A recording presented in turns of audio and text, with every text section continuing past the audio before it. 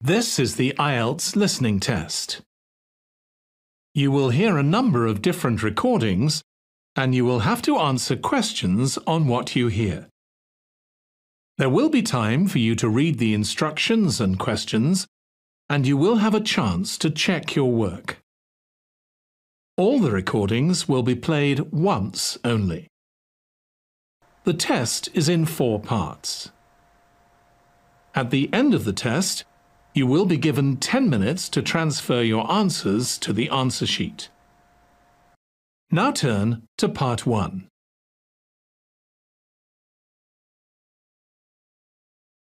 Part 1. You will hear a woman calling a holiday company. First, you have some time to look at questions 1 to 7.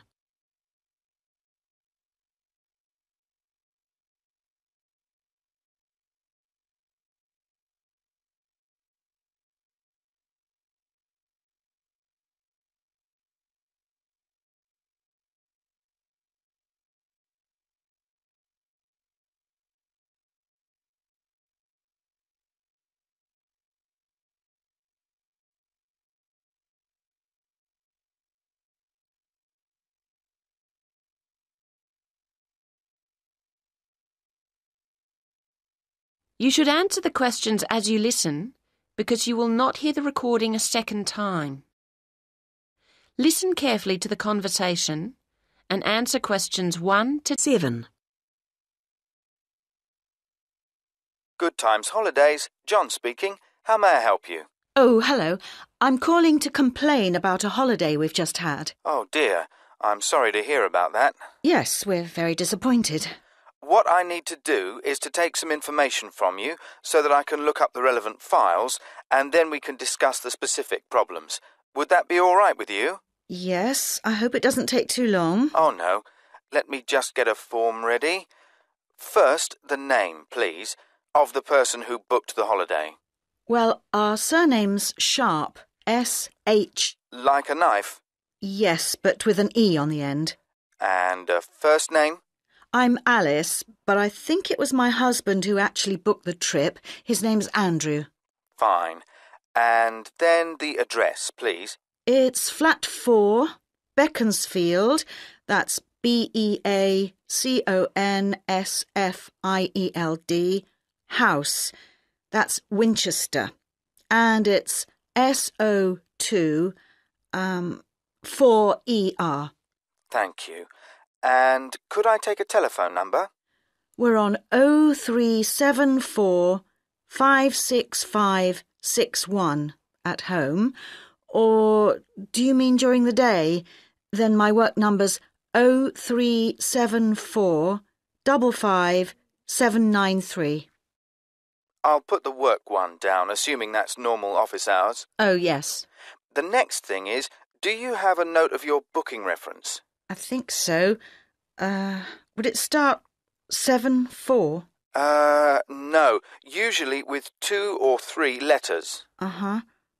Oh, is this it? M H. That sounds like it. And then double six G four. Thank you. Right, what's next? Uh huh. Now, did you book in conjunction with any kind of special offer? Um. Or did you book directly with us? Or maybe through a scheme your employer's part of? Oh, okay. No, I think. Yes, we were using an offer from a credit card company. They always seem to have offers on. You get something with every bill, don't you? Yes, so many. Fine. And now, insurance. Did you have an insurance policy that came with your booking? Well, no. I mean, it came under our Gold Star policy, so we didn't need extra. No, that's fine. It's just a check. All right, nearly there. Now, what type of holiday was it? Well, not very. No, okay. It was called a midwinter break in the brochure. Thank you. Before you hear the rest of the conversation, you have some time to look at questions 8 to 10.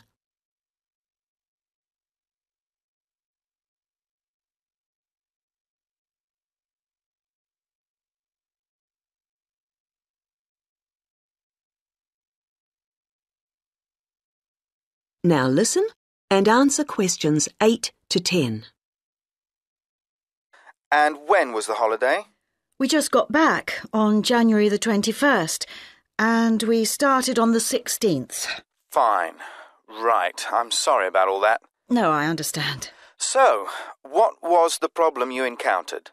There were two things that disappointed us, actually. Right. In the first place, we were told that when we arrived at the station, a taxi would meet us and take us straight to the house. But in fact, there wasn't one there. We had to wait for ages and then pay for one ourselves. So that was inconvenient and expensive. Oh, I'll look into that, see what went wrong. And the other problem was that we'd been promised there would be a bicycle for each of us stored at the house, ready to use, but there were only three, which is no good for a family of four. No, it wouldn't be. OK, well, I'll check into that as well. Now, if you can give me a few hours, I'll get back to you this afternoon, and then we can discuss.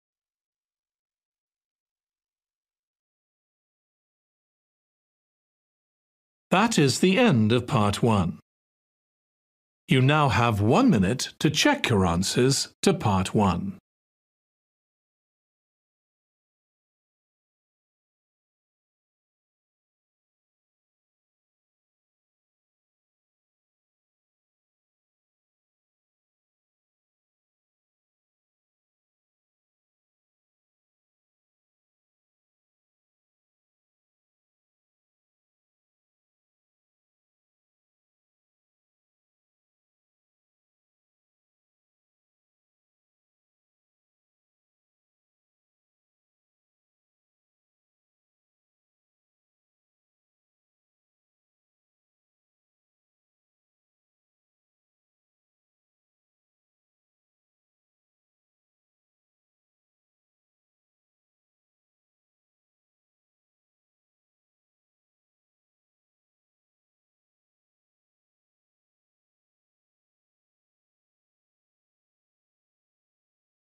Part 2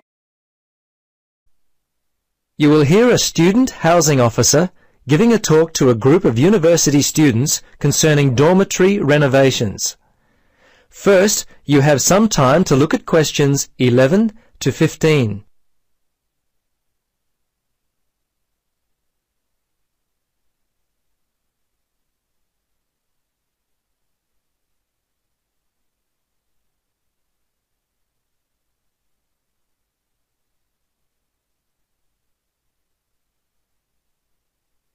Now, listen carefully and answer questions 11 to 15.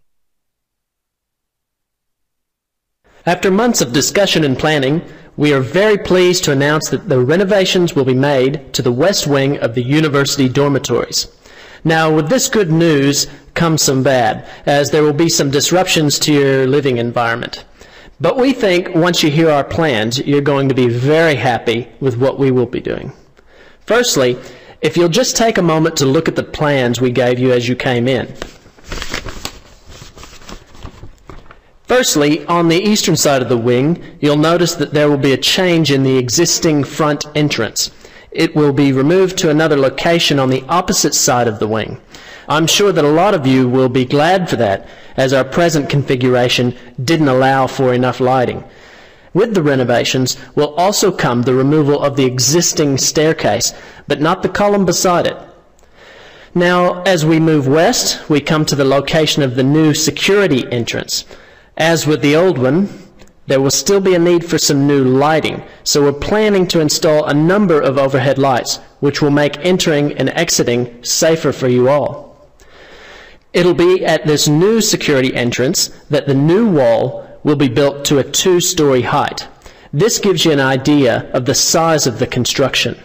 Overall, the width will be around 6 meters, with the overall length being around 10, which I'm sure many of you are going to really enjoy. More room for all of you living in the West Wing. Are there any questions?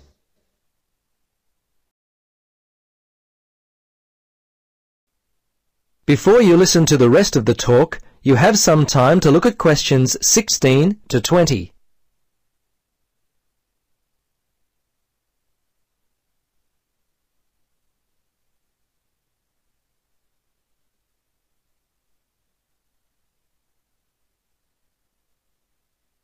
Now listen carefully and answer questions 16 to 20. Now, as I mentioned, there will be some issues we will have to overcome regarding the renovations. The first will be relocating some of you to new dormitories. 30 students will be moving for a total of six weeks. Now, of those who will be moving, you will be distributed to three other temporary locations the North, South, and East dorm wings. 10 students will be relocated to each wing. This means that some of you are going to need to get packing. Don't worry about your new location. We're doing all we can to make your new temporary dorms as comfortable as possible. In fact, as I speak, we're making steps to ensure that you have study desks, lamps, and computer facilities and all of the other facilities you require to successfully continue on with your studies. We're even repainting several of the rooms in the preparation for your arrival. The changes to your dorms will be starting within a week. If you have any problems, don't hesitate to contact my office. Now, I'm sure some of you have questions. I'm happy to answer them now.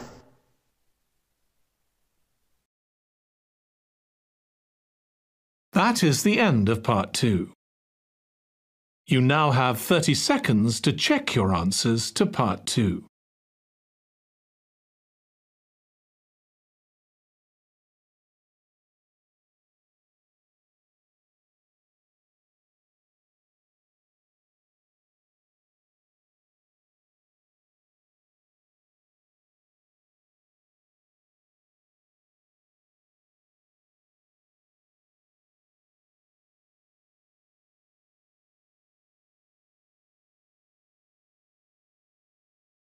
Part 3 You will hear a discussion between two students, David and Jane, and their tutor, Dr. Wilson, about their group research project into local history.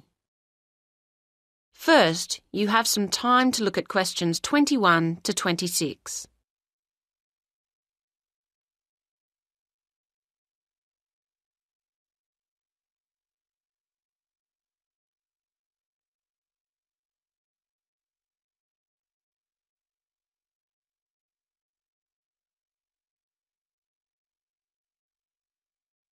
Now listen to the first part of the conversation and answer questions 21 to 26. Hello, David, Jane. Hello. Hi. So, how's the local history project going? Are you making good progress? Yes and no. Oh? Well, we anticipated problems of various kinds. None of the group has much experience of collaborating on projects. But we spent some time discussing how to go about it and thrashed out what seemed a useful approach. But it seems that Jane and I are the only ones actually following the plan. That's meant that the whole project has been lacking coordination, and so we've fallen behind our schedule. I see. That's tricky. Yes, it is. We felt that the targets had been defined, so we'd all know what to deal with. But looking back, we probably should have really specified individual responsibilities. As it is, we only have a loose sense of what should be done by who. Well, this is quite a common problem, actually. I take it that you've had enough group meetings, so you're looking for an effective solution. If you go to the Resource Center, I think you'd find the advice service they provide there helpful at this point. Thanks. We'll go there later. On a specific note, I think we've got carried away with recruiting people to interview at the expense of building up the reference section, which I don't think is going to be solid enough. Do you think that'll be a major problem? Hmm. I'd have to see how much is there to be sure. But, well, you'll have to be pragmatic at this point, I think. What you'd better do is ensure your methodology is really strong, so at least you can't be faulted on that front. Then, if people challenge your results, at least you've carefully reported how you reach them. Do you see what I mean? Yes. So, Yes, I think one resource in relation to that that we haven't exploited as fully as we might is the internet. I've taken a lot of journals off the library shelves to go through, but actually there are websites where you can call up lists of approaches or data sets really quickly. I think that's a good idea. Yes.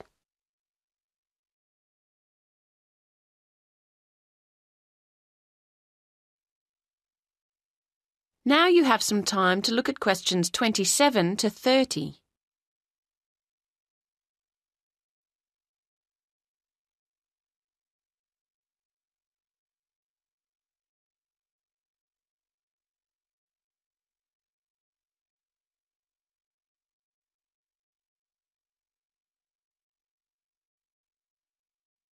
Now listen to the rest of the conversation and answer questions 27 to 30.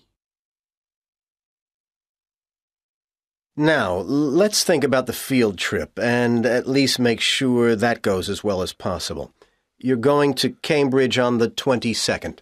The Monday, yes. It's quite soon now. And in the morning, you'll be traveling and then getting settled into the hotel. Uh huh. But you need to get down to work after lunch, of course. Now, I've arranged for you to have a look at some useful visual material, especially photographs and old magazines and newspapers, which is included in an exhibition at the library in the university. That sounds like a good starting point. There's quite a lot on show, so that'll occupy most of the afternoon. Then the following morning, I want you to go and talk to someone in the city library. His name's Jarvis Gregson. He works in the education section there, and he's an expert on the area's history. Don't, of course, forget to take a tape recorder with you, so that you can record what he tells you. Mm-hmm. And to have our questions ready. Indeed. Okay, and the afternoon's free for you to wander around, get the feel of the place, Do some sightseeing. as you wish. It's a beautiful city. Hmm. But it's back to work on Wednesday morning. Concentrate on the central area and walk around methodically. You'll have the plans I'm getting ready for you from different periods, and your task is to compare those with the makeup of the city today. Make notes on how different kinds of shops and businesses have grown up, what's gone, and so on. I hope the weather's good. Yes, uh, and in the afternoon, I want you to think about producing your own records, along the lines of the ones in the city library's archives. The history of the castle is very important to the city's development, so use a camera to get some pictures that reflect that if you can, showing it in relation to the buildings and spaces around it. We'll try. And when do we travel back? That's up to you. You can either decide to. That is the end of part three. You now have 30 seconds to check your answers to part three.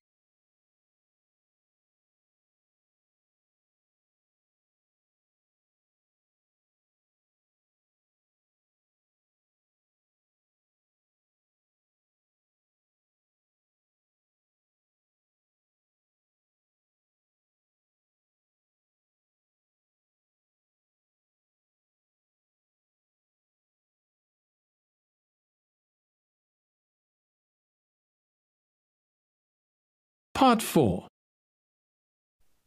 You will hear a lecture about the Inuit Eskimos of Alaska and Canada. First, you have some time to look at questions 31 to 40.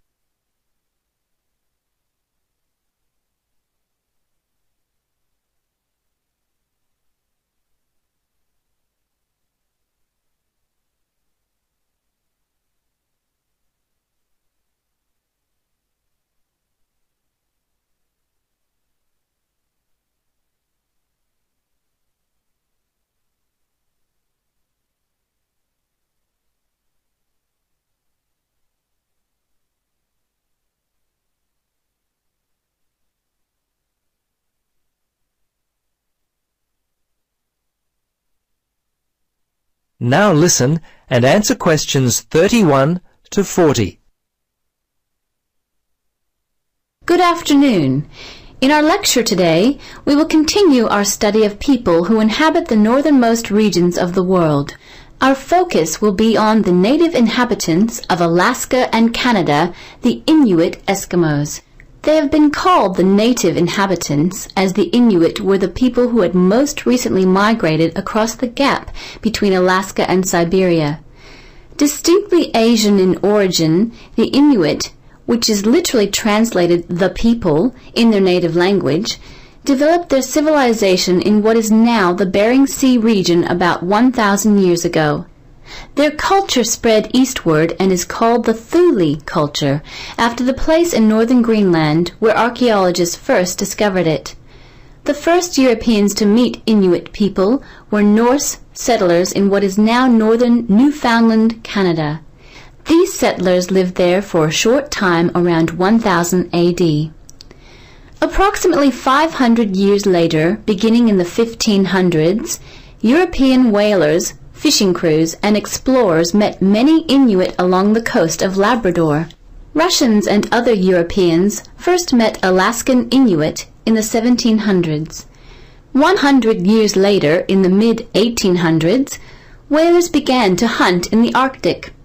Some Inuit were employed by whalers and traded with them during that time. Perhaps one of the most interesting aspects of the Inuit is how they were able to survive and grow in such a harsh Arctic environment.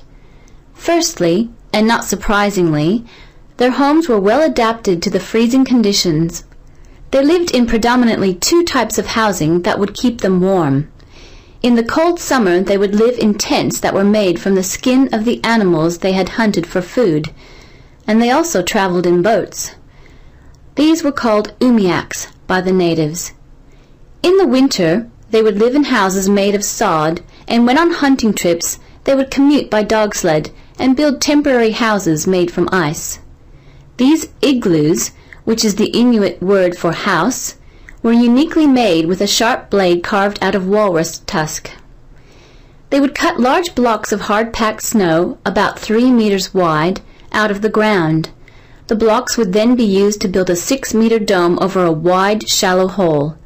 Within one or two hours, an igloo up to 10 meters in length could be built. It was weatherproof and large enough to house an entire family.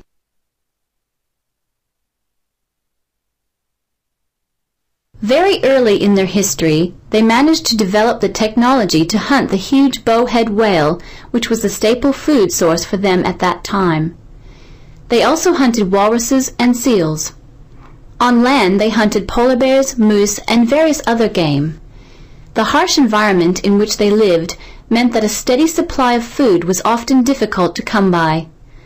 Therefore, the Inuit were a people constantly on the move, looking for food, which meant that their dwellings had to be easily built and easily dismantled. They inhabited the wide open land and, as such, moved freely around it in search of food. Today, the traditional way of life has basically ended for the Inuit. They live in wooden homes rather than in snow houses, sod houses, or tents. They wear modern clothing instead of animal skin garments. Most Inuit speak English and Russian. Some speak Danish, while fewer still continue to hold on to their cultural roots by passing on to the younger generation their native language. The kayak and umiak, their principal means of travel, have given way to the motorboat, and the snowmobile has replaced the dog team.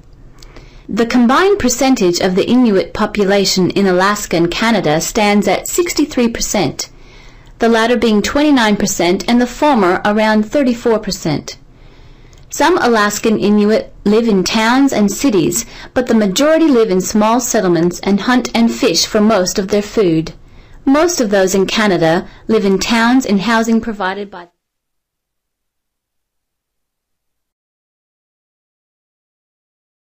That is the end of part four. You now have one minute to check your answers to part four. That is the end of the listening test.